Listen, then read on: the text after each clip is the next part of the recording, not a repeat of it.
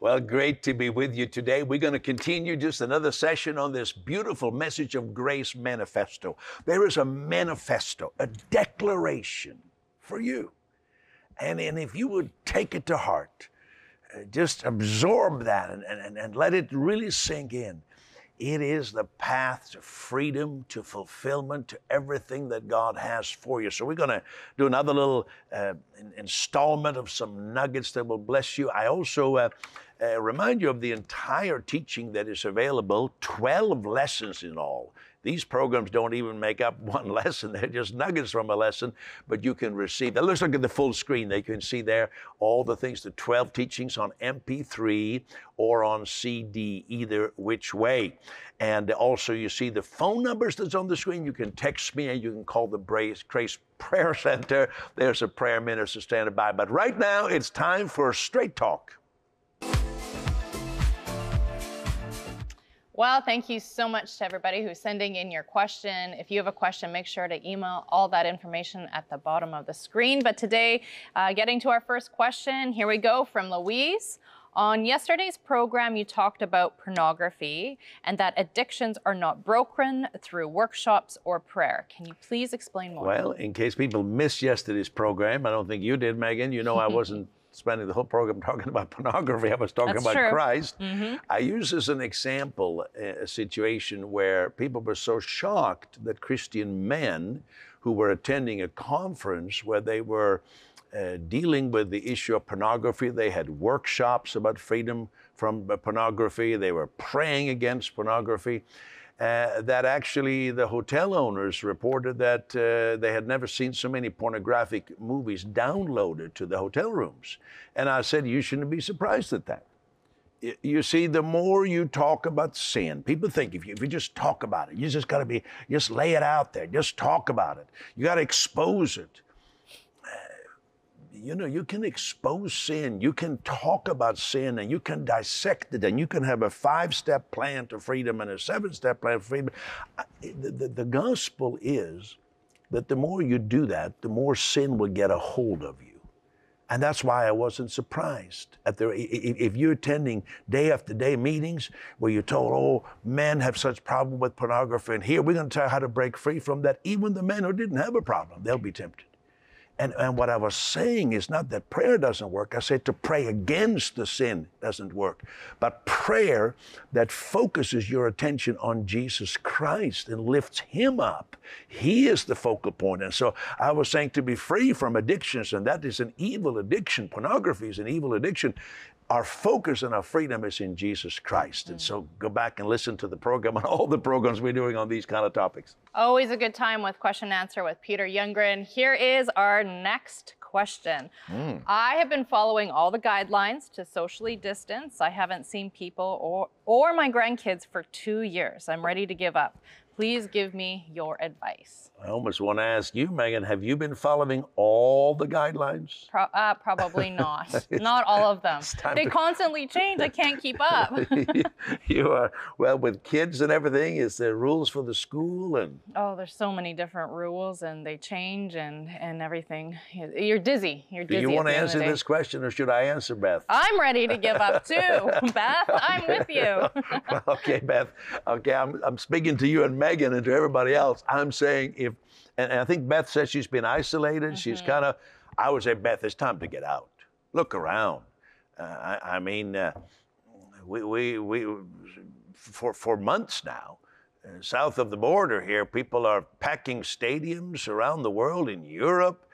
I think we Canadians need to realize that there's a virus here. It's dangerous, but really, uh, you know, get out, go shopping, go and buy yourself something to eat, buy yourself something to wear, come to church.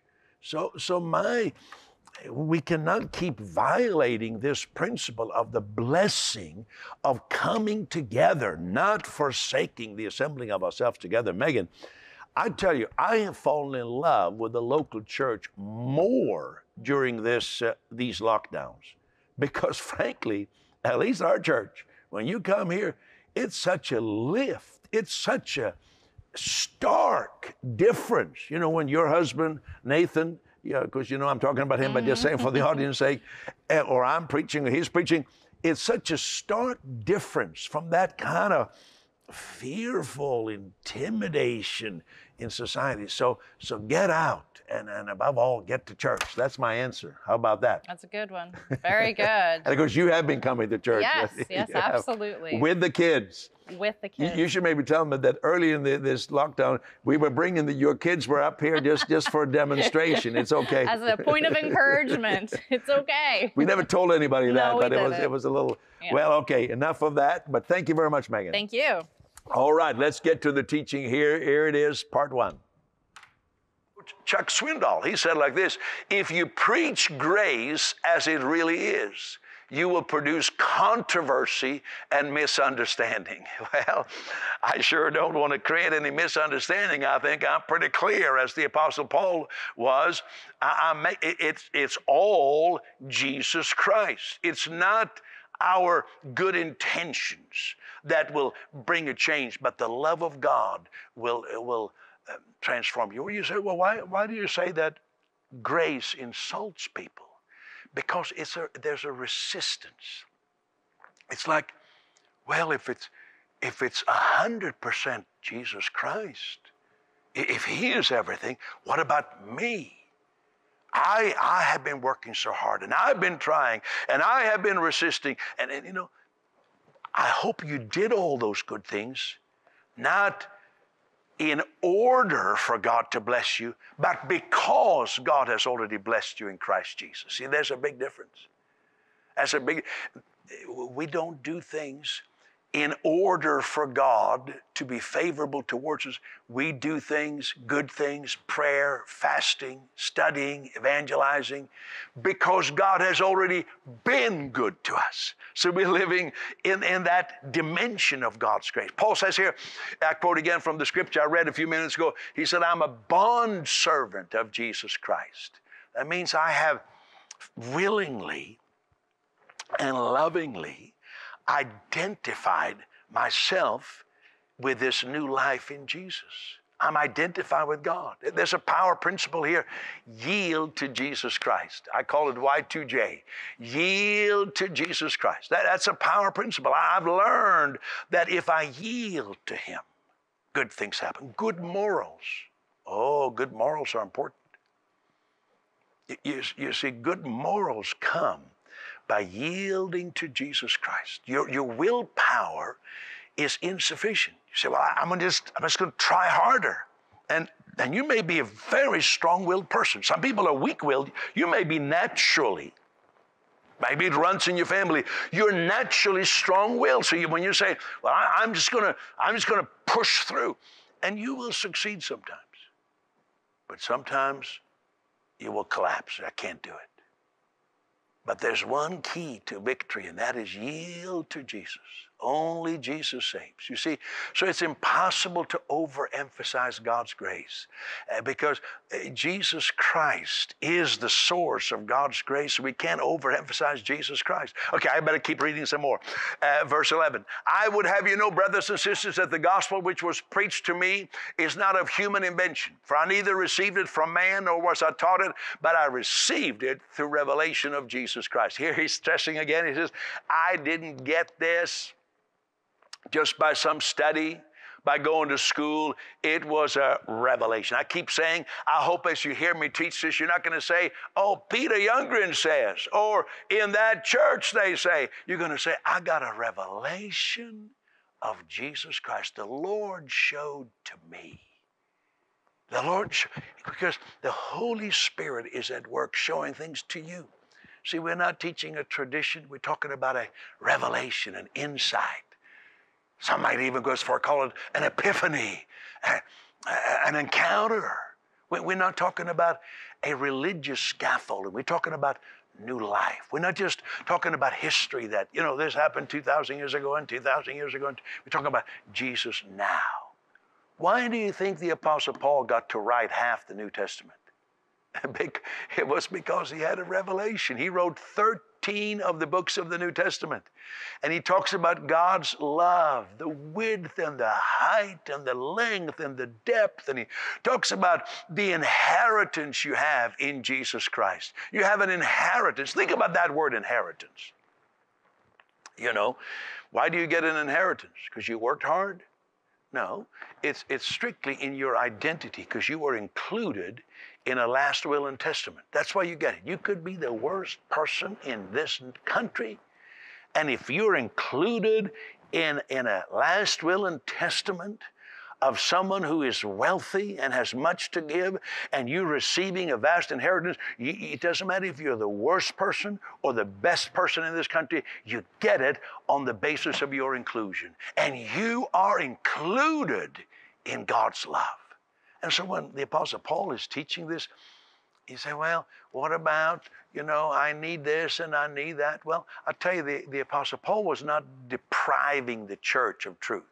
You know, many things that people talk so much about, talk about revival and, and, and inner healing through rehearsing the past and all that. You know, maybe it helps somebody, but the Apostle Paul doesn't talk about that. And I don't think he's depriving people. Uh, Paul, here, who wrote half the New Testament, he doesn't teach that good morals and, and holy living, uh, that they are prerequisites for God to bless you. He's constantly teaching you receive the blessing of God freely. And then once you receive it, it produces good in you. And then he, then he gives, here in Galatians, he, he, gives his own life as a testimony. And he's trying to say, look at me, I'm not a people pleaser, I'm not a religionist. He says, you have heard of my former way of life in Judaism, how I used to persecute the church of God beyond measure. I tried to destroy the church. And I was advancing in Judaism beyond many of my contemporaries, among my countrymen, being more extremely zealous for my ancestral tradition. So he's saying, you know, I, am a young man. I was advancing in my religion. People liked me, they promoted me, they were applauding me. I was doing well in keeping the Judaism ancestral traditions. But then he says, so, so, don't think that I don't know what this religious game is about. Don't think that I'm trying to condone sin. He says, don't think that. But he says, I was delivered from that. And now he says, I've discovered that God's got good news is neither Jew nor Gentile, you know, Greek or Roman or barbarian. He gives all kinds of options. But what matters is the new life in Christ. And so Paul gives his credentials here because some people might accuse him and say, oh, Paul, you're just going soft on sin. And, you know, See, see, what matters is the new life in Christ. We see this again and again. It's not whether you did that or whether you had this performance. It is the new life in Christ. We are offering people new life. Jesus said, You must be born again. He's talking about a spiritual life. It was referred to as the life from above, not for some far off place out in the universe, but above signified that which is from God, where God is the source. And, and that's what's going to give you the power. And, and so you see all the information, the phone numbers there, call me, uh, call the Grace Prayer Center. There are people there to pray with you, to believe God with you. And uh, I think they will help you a lot. Get the whole teaching. Let's put it on the screen there so you see the MP3 version, you have the CDs. 12 lessons, 12 teachings, and uh, every one of them power packed. And uh, I think you will, you, you will just say that changed my life because a lot of people who have heard this teaching have actually said that. So make sure you get that. Right now, we have a little bit more for you, a little time for more. So a lots happening yet. Let's go to it you know, you kind of teaching this message of grace right now. No, no, he says, I, he says that which I thought that which I thought was on the plus side. I thought all my effort were on the plus side. Uh, that they were on the credit side. But he said, I've discovered that that's the minus side. When I discover what's really on the plus in my account is the righteousness of Jesus Christ. You know, I can even relate to myself in that as a, I remember as a teenage evangelist, I was starting out and serving Jesus. Before that, I was just a, you know, good young church. Remember, I'd received Christ in my early teens, and, and I wanted to do good.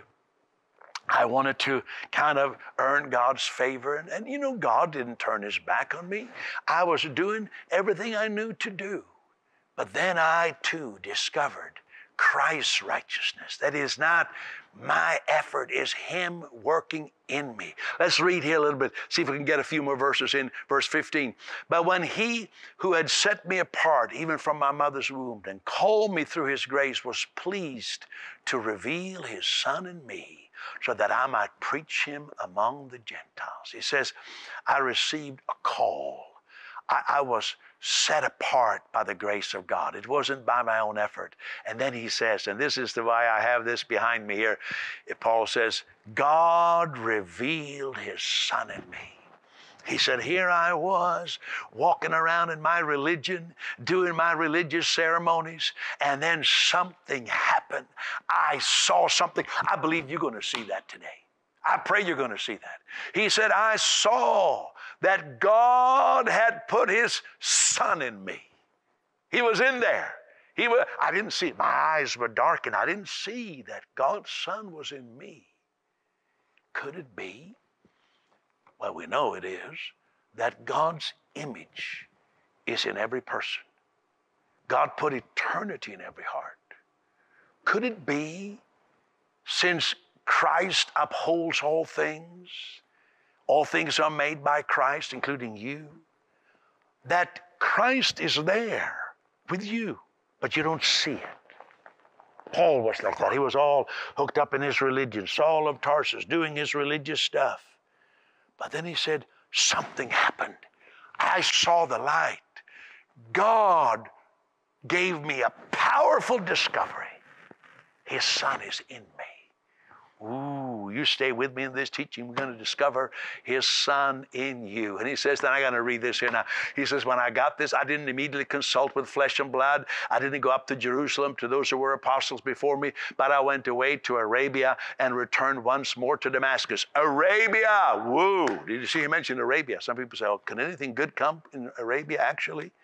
You know, some of the powerful, most powerful insights of the gospel came from God to Paul in Arabia. That's why I believe Arabia shall experience, uh, well, that's one of the reasons I believe Arabia, Saudi Arabia, and we've been reaching out to the Middle Eastern countries, shall experience the power of the gospel. And then he says, and I kind of read very quickly here. Then three years later, I went to Jerusalem and became acquainted with Cephas, which is Simon Peter, and stayed with him for 15 days. But I didn't see any, any other of the apostles except for James, the Lord's brother. Then I went into the regions of Syria and Cilicia. I was still unknown by the sight of the churches of Judea, which are in Christ, but they only kept hearing, the man who was once persecutor is now preaching the faith which he once tried to destroy. There's so much to unpack here. Paul is saying, you know, after I received this revelation, he's trying to emphasize that Jesus gave this to me. That's what I want you to know. Paul is really making a big deal here about I didn't get this by just attending church. I didn't get this just by, you know, attending a course. He said, and, and courses are important. Listening to me teach, listening to the teaching we are offering during these weeks, powerful, life-changing teaching about the Grace Manifesto. But, but ultimately, that teaching is only to serve the purpose that the Holy Spirit will reveal this to you. So he says here, it was only till three years later that I went to Jerusalem. And I only spent 15 days with, with Peter. What's the big deal with mentioning these specifics? He's saying, well, you know that it takes more than 15 days to receive this revelation of Jesus Christ. That's why I'm saying it takes more than one television program. It takes more than one teaching session. That's why we want you to get that whole album. Get the whole album, all the 12 lessons, get, get it all. Uh, because it takes more than, than just having heard it once. It's got to it's got to hit your spirit. It's got to get right inside of you. And, and Paul is making that very strong. And he says, you know, he, he says, uh, I, I, was very devout in my religion. And, and, but he says, now I'm an example of this message that Jesus can reveal himself to people. I was so devout in my religion. I was a murderer. I was a persecutor. But he says, I'm now a testimony to the fact that, that I've been changed. And then he says, you know, when he was traveling around first, people hadn't seen him. So they didn't know what Paul looked like. They just heard this guy who used to persecute the church, who was full of murder. He now is preaching the same message he tried to destroy. And he says, and this is the end, I think, of chapter one, and they glorified God in me. What a powerful statement. He says they weren't skeptical. They weren't negative. They weren't saying we don't want to listen to that guy because you know, you know all the evil he's done, but they said God is great in him. Start seeing Jesus in people. Start seeing Jesus in others. Start glorifying. Look at how God is at work in you. And if God can be at work in you doing good things, then God is at work in other people. Uh, you know, Paul here in this teaching, he's so pumped up. He's, he's so concerned. And the issue at hand is that the truth of the gospel will continue. I put it on the screen. The issue at hand then and now in our country is that the truth of the gospel might continue. We have so much nice churches, so much nice music. We have, we have everything. We got everything. We, we have such a marketing. We have such a social life. We have so much that we offer the community. But our concern is because the only thing that will give us the lasting power is the gospel, that the gospel might continue. Oh, I hope that you will get a hold of all of this teaching as I'm offering it. But right now, I want to give you an invitation. The Apostle Paul himself, he, he is an example of, of the beauty of the gospel. He says, Look at me, I was so hooked on my religion. I was so hooked on being zealous. He said, I was so zealous, I was willing to have people murdered if they didn't agree with me. I mean, he was a terrorist. But he said, God revealed his son in me. I saw that I was created by Christ and that Christ upheld me, but I didn't know him. And my eyes were opened and I discovered Christ. Could that be happening to you? It would be good to pray a little bit right now and just thank God. This could be the very beginning of a, of a journey of ever more discovering Christ, God's Son in you. Shall we pray right now? Father, I thank you for your love. You say the same prayer at home. Say, Father, I thank you for your love for me. And I'm beginning to see this insight about Christ that Christ took my sins. Christ died and was buried for me. And Christ rose again. You say, Jesus, live in me. Thank you that my sins are forgiven. I receive it now. Amen. Well, if you pray that, you can see some information on the screen that will help you to move forward, traveling on this new journey of this new life. So just avail yourself of that. I mean, this is a discovery. Christ in me, not, not, not just Christ near me or Christ somewhere out there, but, but this, is, this is Christ in me. This is a discovery that changes everything. You see, to most people, God is remote. He, he's there, but, but, but not here. He, he, he, he exists. I believe in God. Oh, every religious person would say that, but, but, but not, not here. When I discover this, that this life is in me and it's in you, it changed everything. I, I hope you'll get this whole teaching because uh, you just let your mind and your heart open up to it and receive it. And it will make such a powerful impact. You can get on MP3 or on the album there with 12 lessons. So we really do it thoroughly. And, uh, and let me say the gospel. The gospel is for the world, but it's also for Christians who, who come out, pushed it aside, forgot what it was all about. And, and so we are all about gospel advancement. Thank you for being a partner in that. Please watch. The VIP family is about believers making their life count for Christ. The VIP family is a partnership with the Lord Jesus Christ and with one another. We believe in the cause of Jesus Christ, and together with Him, we are an unbeatable team. VIP stands for Very Important Person and for Visionaries in Partnership. Billions of precious people don't see what Jesus Christ has done for them. Our mission is clear to open their eyes to see the light of Christ's gospel. Millions receive hope and healing as the gospel touches their hearts. Jesus saves. Yesu anaokoa. Jesus is Lord. Yesu ni Bwana. Hundreds of thousands of pastors are trained. True apostles Lakini mitume wa kweli and true prophets na manabii wa kweli reveal Jesus Christ. Seven Bible school campuses equip students across Africa and Asia. Millions receive follow up for new believers.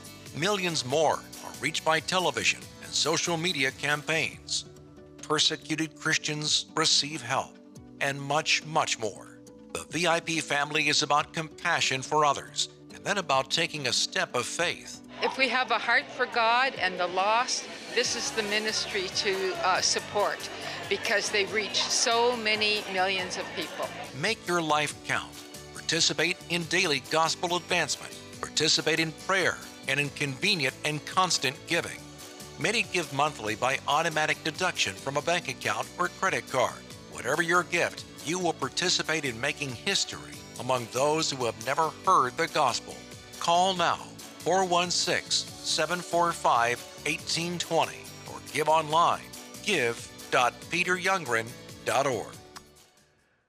I say thank you, thank you, thank you, thank you. You see, uh, when, when the first missionaries, which were Paul and Barnabas, were sent out, it wasn't their private uh, missions agenda or that Paul and Barnabas privately felt we we kind of want to do this. We feel this is what God is saying. No, it says the whole group of believers that were there in the city of Antioch, which was a great city at that time, uh, that, that they all said, This is our responsibility. And they, they all felt that God spoke to them.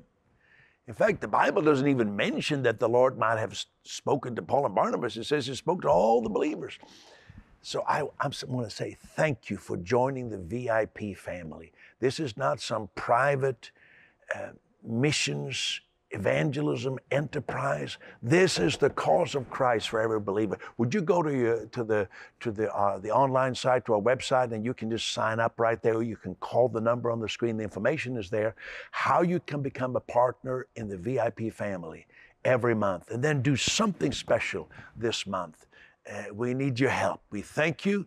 You are loved. Thank you. Your participation makes this global gospel ministry possible. To share your prayer request or to help bring the gospel to those who have never heard it, call 416 745 1820. You can give at www.peteryoungren.org or send your gift to World Impact Ministries at P.O. Box 62039 RPO Victoria Terrace, North York, Ontario, N4A 2W1 or P.O. Box 433, Winchester, Kentucky 40392 9800. Together, let's give everyone a chance to know God's love in Jesus Christ.